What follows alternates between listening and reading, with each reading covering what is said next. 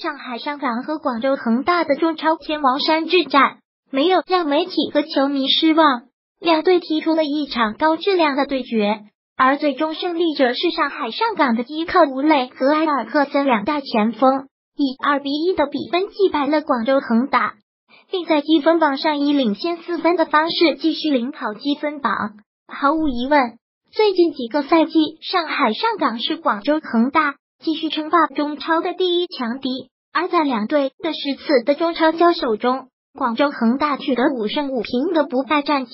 但在两次的第十一次交手时，广州恒大却输掉了比赛。尽管主帅卡纳瓦罗在赛后发布会表示，联赛冠军的归属还完全掌握在自己手中，但是近期球队要面临的问题却是无法避免。九月十四日主场绝杀了北京国安。但消耗极大，而十八月又客场挑战上海上港，再一次付出了极大的体能，结果还输了球。五天之内连续体力两场争冠比赛都是高强度的应战，这对于球员来说是非常大的考验。郜林、塔利斯强、高拉特、保利尼奥、冯潇霆、张琳芃、梅芳和曾诚。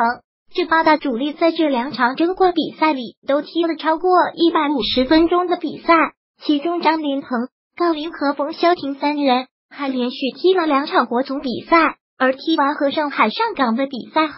广州恒大又要马不停蹄的赶往下一个比赛地南京，于九月二十二日客场挑战积分榜第五的江苏苏宁。这么多主力球员的体能消耗如此大。广州恒大这次客场挑战江苏苏宁，恐怕有些凶多吉少。而江苏苏宁则在主场以逸待劳，